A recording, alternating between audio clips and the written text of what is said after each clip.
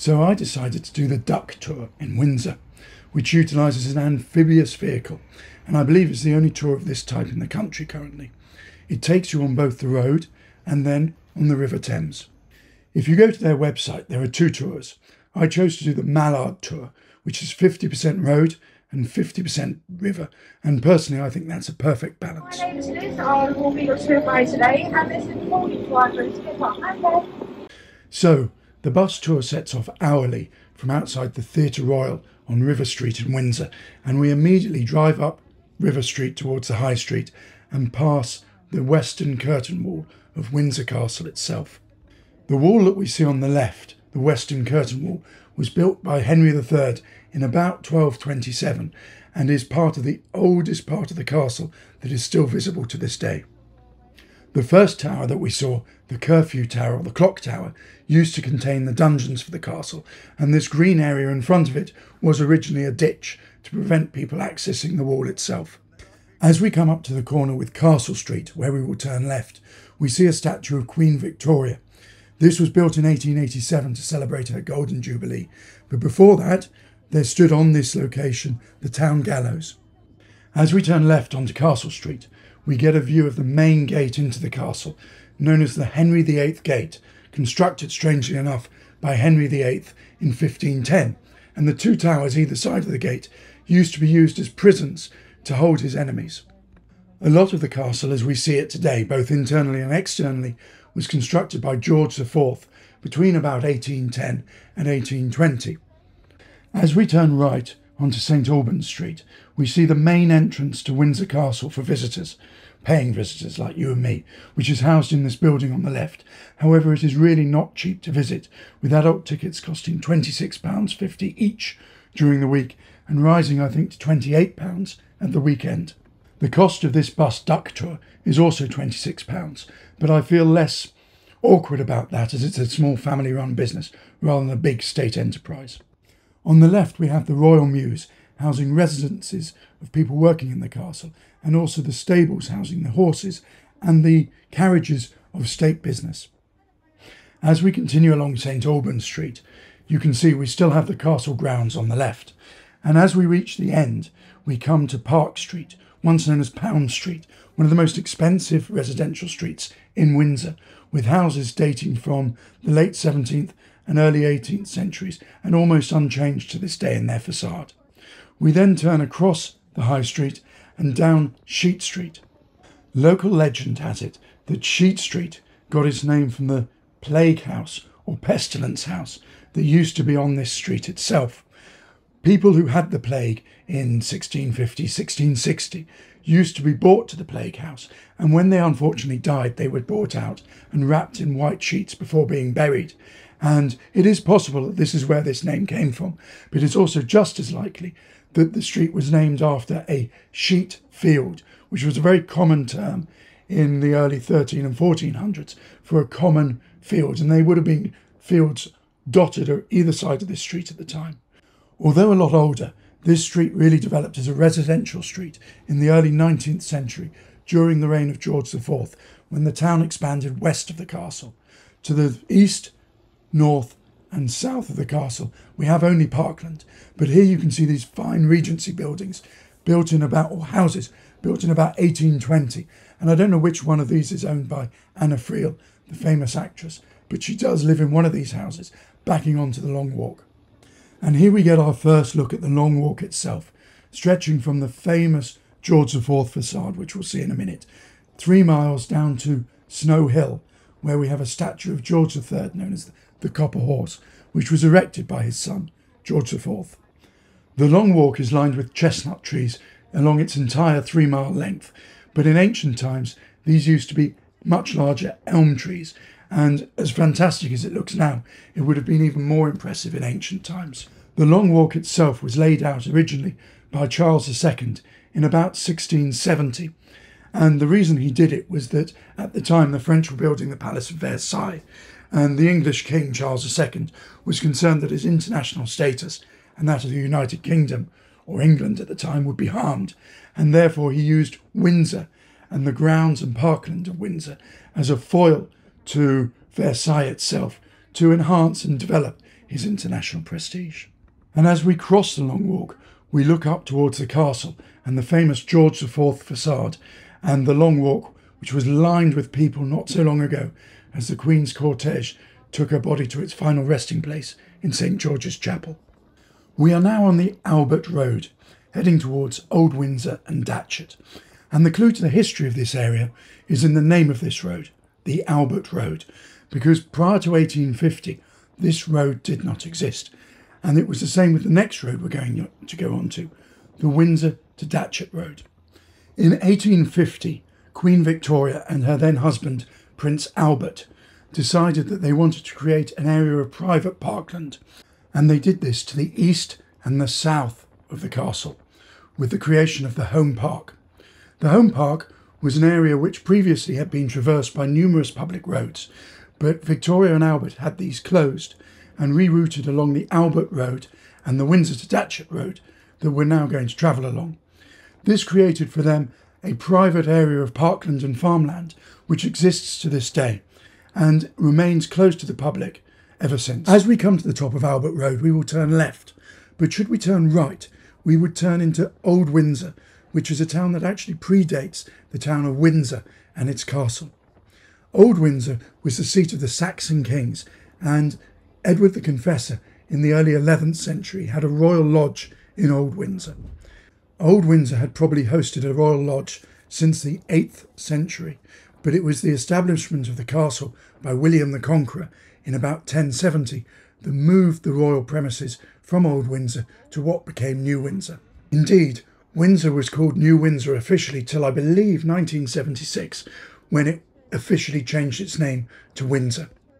If we continued through Old Windsor, we would come to the famous town of Runnymede, where in 1215 King John and the barons signed the world famous Magna Carta Treaty. Runnymede is also the site of the John F. Kennedy Memorial in the United Kingdom and the Air Force Memorial, which is located up on the hill overlooking the river and the Runnymede Plain. On the left, we now pass the Windsor Farm Shop, which is part of the Windsor Estate. The shop was opened in 2001 by the late Duke of Edinburgh and was created by converting Victorian potting sheds and constructing two new buildings, which became the farm shop and the coffee shop. The shop exists to sell locally sourced goods and those produced from the royal estates and the Great Park. As mentioned, the Windsor Datchet Road that we're now on was created by Queen Victoria in about 1850 and it crosses over the Thames on this bridge, again built in 1850 specifically for the creation of this road, allowing the home park to be closed off to the public. Unsurprisingly, it runs through the town of Datchet, Datchet is another small and ancient town located close to Windsor. In between New Windsor and Old Windsor, Datchet existed in at least 990 AD when it was mentioned in royal dispatches. It is located to the north of the Thames and was once only accessible from Windsor via ferry. I grew up in New Windsor and I went to school in Datchet, which is maybe why I'm so interested in this place. But the creation of this new road by Victoria dramatically changed the fortunes of the town by linking it directly with Windsor and also Eton at the time, before the closure of the Windsor Eton Bridge in 1970 to traffic. And it's a very affluent town, although it is very closely located to Heathrow and the M4 motorway, so it does suffer from a bit of noise. Unlike Windsor, Datchet is used as a mooring for many boats along the River Thames, and here we can see those boats with the home park created by Queen Victoria, the new road separated Datchet from the river, and indeed some of the existing houses on the right from their gardens on the left, and we can see this here. As we re enter Windsor to the north of the castle along this road, we can see the castle ranged up on the chalk cliff, and below it, St George's School. This school was established in 1348, and its sole purpose at the time was to provide choristers for the St George's Chapel and the castle, something that it does to this day. Immediately behind us is Windsor Riverside Station, and before it was a station, it was an execution ground where the Tudors, in particular King Henry VIII, burnt religious martyrs at the stake.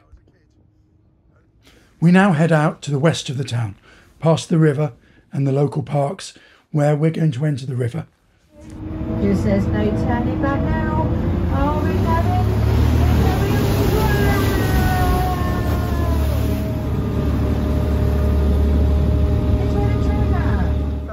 Now, the reality is that this becomes a very pleasant cruise along the River Thames back towards Windsor. But the fact is that until you get back towards Windsor, there isn't actually that much to see or do because you're looking at the riverbank which on both sides is fields. We pass under the Windsor to Slough train line from the Royal Windsor station that Queen Victoria used to use to go to London. And we see just to the left of this a little grassy area. Now, when I was a kid growing up here in the 70s and 80s, this was actually a little fun fair and you used to walk along the towpath from Windsor to what was from memory some swings and a little roundabout for kids, um, but long gone now. At this point on the river tour, the boat pauses and swings round to give us the best view of Windsor Castle itself. If we go closer to Windsor, the castle becomes obscured by the trees and the other buildings. And if we go further away, we go around a bend. So we get this fantastic iconic view of Windsor from this point on the tour. It's then another four or five minutes boat ride down the Thames past the fields until we get back into Windsor itself. It's at this point we get a fantastic view of Windsor and Eton Bridge. The current bridge was built in 1822, but there has been a bridge on this site since at least 1171, and it was a toll bridge. But the particular bridge here was closed in 1970 to traffic. To the left of the river, we have Eton, and the boathouses here of Eton College, with some very smart apartments along the riverfront. And then to the right, we have the main town of Windsor. We can see here on the river the famous swans, which belong to the king, and the castle in the background, and the river cruisers that ply their trade in the summer. Windsor is a fantastic tourist destination, and this particular tour is really good.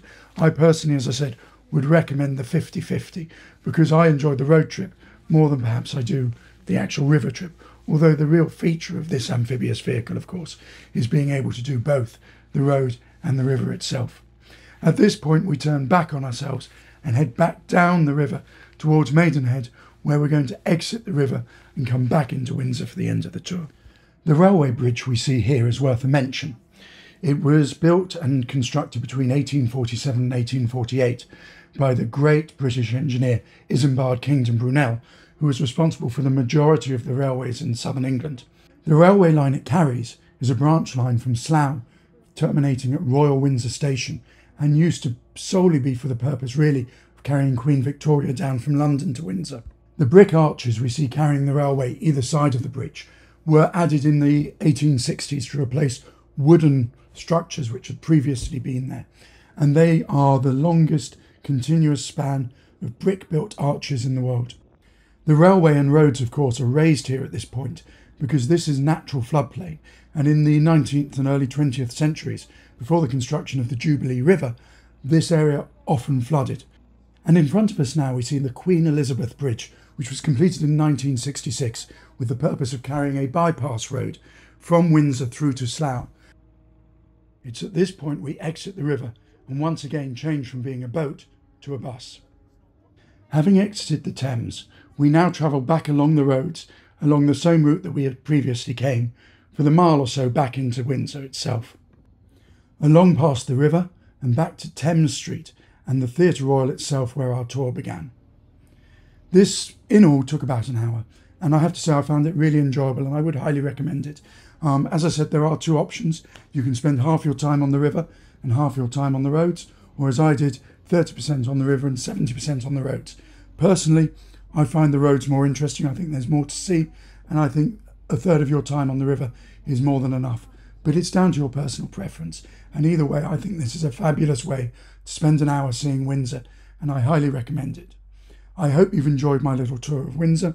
I have got another video explaining in detail the history of the castle and the development of Windsor as a town, but I leave you now and hope that you enjoy Windsor when you visit in the future. Thank you.